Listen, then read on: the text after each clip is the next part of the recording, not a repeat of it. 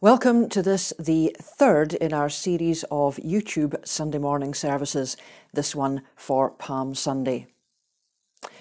Working alphabetically through the churches of the Carse Charge, we have reached Kinnaird today.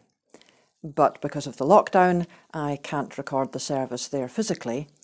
So, by the wonders of technology and photography, I am bringing you one or two images in the course of this playlist to give you a sense of this, the smallest of my worshipping congregations.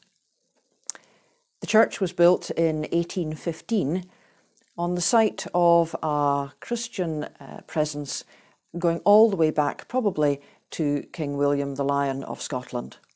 So that's eight, nine hundred years of Christian presence there.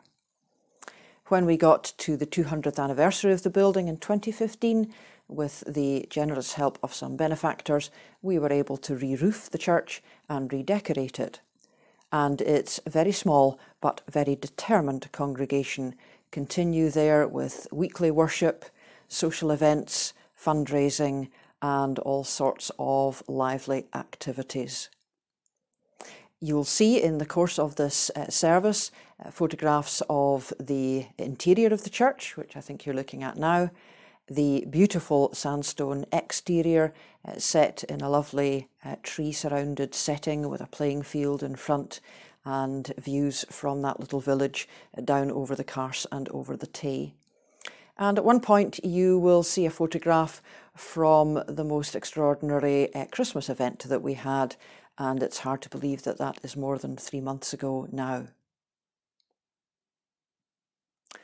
Hosanna to the Son of David. Blessed is the one who comes in the name of the Lord. Let us worship God.